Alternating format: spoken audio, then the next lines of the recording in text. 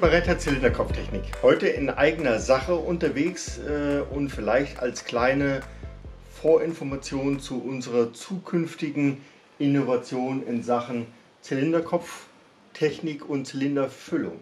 Und das Video wird darüber berichten, was der Thomas und wir hier insgesamt an Entwicklung geleistet haben. Bis gleich.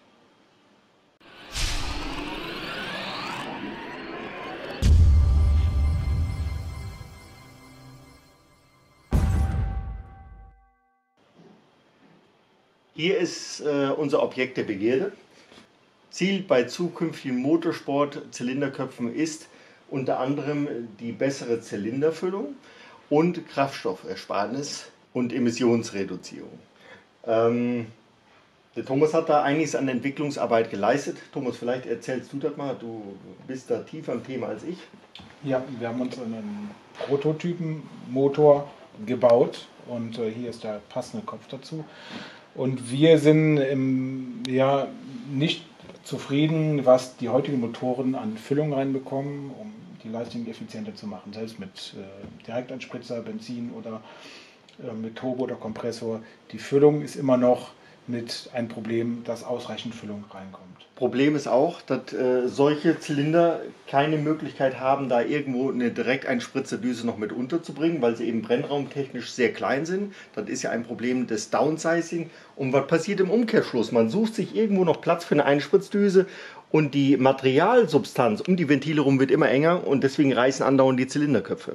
Und da haben wir eben gedacht, welche Möglichkeiten bestehen. Das machen wir übrigens auch mit der Uni zusammen, äh, die uns dabei erfolgreich, was Analysen und Versuche angeht, unterstützt. Und hier haben wir jetzt äh, ein Ventil, das steht im Raume. Äh, der Thomas wird gleich die eindeutigen Erläuterungen dazu mitgeben. Aber dadurch, dass das Ventil eine rotierende Bewegung jetzt ausführt, haben wir die Möglichkeit, einen sauberen Strömung, also äh, keinen Strömungsabriss zu erzeugen, sondern eine Strömung mit Drall, die praktisch die Gase direkt vor die Zündkerze führt. Und der Thomas führt uns das vielleicht mal vor, dass wir das mal sehen, wie sowas aussieht. Genau. Also wir haben hier jetzt, der Zünderkopf ist ausgestattet mit zwei verschiedenen Systemen. Einmal das konventionelle System, also Ventil geht auf, geht zu, man, es fährt sozusagen eine Nockenwellen-Kennlinie ab. So, das ist das serienmäßige Ventil. Und wir beim serienmäßigen wie man, Ventil, wie man sehen kann, haben wir hier auch recht wenig Ringspalt zum Zylinder hin.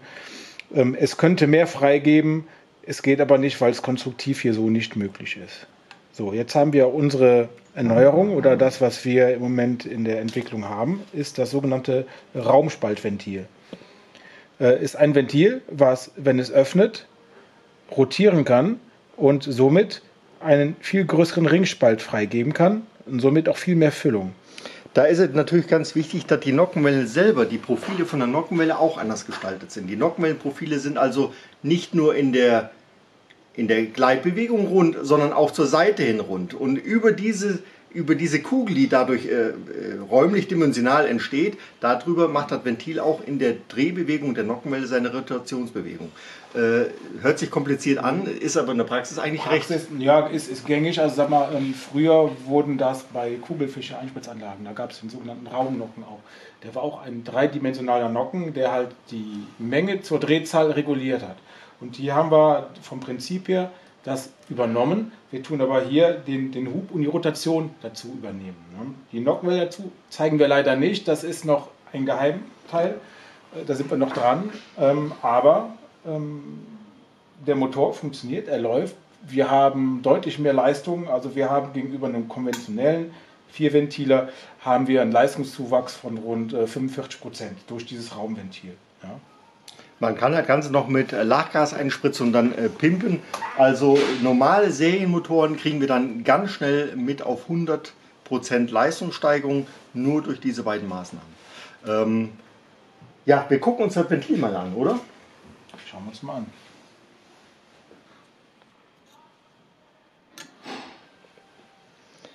Hierbei ist natürlich ganz wichtig, man muss natürlich auch die, die Hubbewegung mit beeinflussen und äh, betrachten, weil das Ventil wird erstmal im geraden Weg aus der Ventilführung herausgeführt, bis es einen gewissen Öffnungswinkel hat und dann fängt die Rotation an.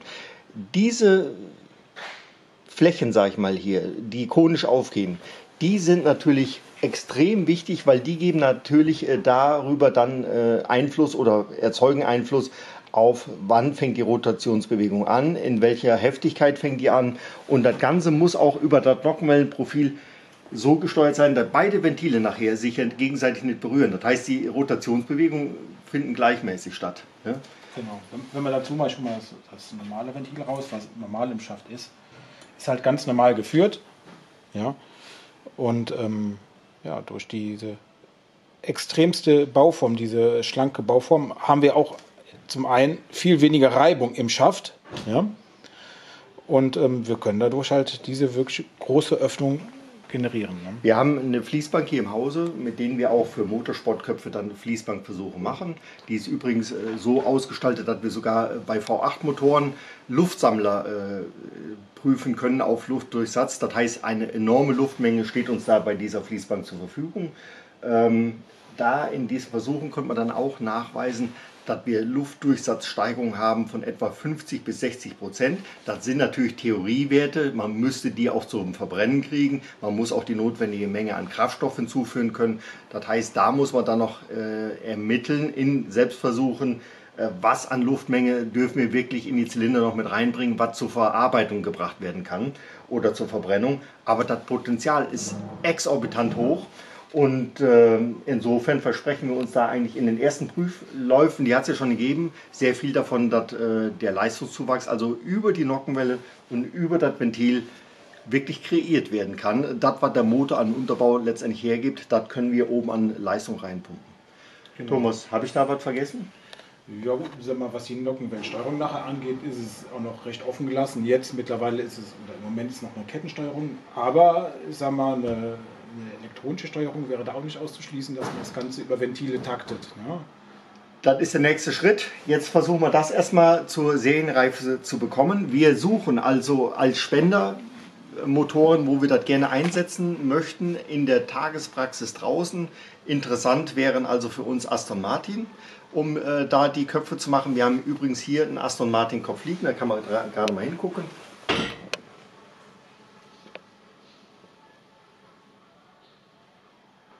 Ähm, oder Ferrari wäre auch sehr interessant, wer also dann seinen Ferrari diesbezüglich uns zur Verfügung stellen möchte, um da als Prototyp agieren zu wollen. Der kriegt von uns dann auch die entsprechenden Designs auf das Auto drauf. Das heißt, wir werden das Auto entsprechend bekleben von allen Seiten, dass er als Versuchsfahrzeug für Red Hat Zylinderkopf und Motorentechnik unterwegs ist. Und das Ganze machen wir natürlich kostenlos, keine Frage. Ja, ansonsten würde ich sagen. Wir halten euch auf dem Laufenden, wie weit wir hiermit kommen. Und vielleicht wird das irgendwann in Serienfahrzeugen sehen. Wir ähm, sind auch sehr gespannt, wie auch die Industrie darauf reagiert, auf unser Vorhaben. Im Moment haben wir ein paar Arbeiten wieder an die Uni ausgelagert. Wir warten auf den Rückstrom und auf die Rückinformation. Und äh, ich denke mal, den ersten Probelauf, den lassen wir einfach Sie per Kamera einfach mal mitlaufen. Ja. An der Stelle verabschieden wir uns auch schon. Da war nur eine kurze Zwischeninformation. Wir wünschen Ihnen eine gute Zeit. Gruß aus der Welt, Ihre Technik. Mach's gut. Tschüss. Nee, Gruß in die Welt. In die Welt. Aus Gruß der Welt in die Welt. Aus der Welt in die Welt. Ja. Gruß in die Welt, Ihre Technik. Tschüss. Tschüss.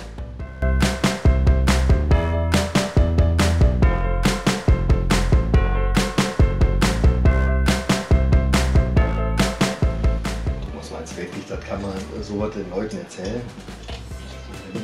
Echt? Also das habe ich echt noch nie gesehen, dass so, so verschlissen ist hier. Das ist aber wirklich extrem. Das, das ist schon geil. War eben in dem Video aber nicht so. Das ist schon geil. Aber selbst im Originalventil, ne? Ja. Wir hätten diese Ventilführung hätten wir zeigen sollen. Ja. Das ist doch viel geiler. Also was ich hier nicht begreife, ist, dass das Ding hier, der ist ja damit gefahren. Wie kann das sein? Das verstehe ich nicht. Ja. Aber und dann, dafür, dass keine Brocken dann da drin sind, ist auch ja, nicht ja, das so, so hätte abreißen müssen. So wenig Brocken. Aber ich glaube, das kann man den Leuten irgendeiner Weise verkaufen, oder? Ich muss das nochmal sehen, Thomas. Damit ist der gefahren. ne, also das, das, geht doch gar nicht. Nicht daran. Ja gut, wenn du dir den Sitz ansiehst, das ist schon ein bisschen ja, ausgelatschen kannst, aber, aber trotzdem ist das krass. Naja, aber das, das kriegen wir schnell. Sei es wie es sei, den Zylinderkopf arbeiten wir dann auf. Wann willst du den anfangen? Ja, das will ich jetzt von Anfang gemacht, das auch nicht.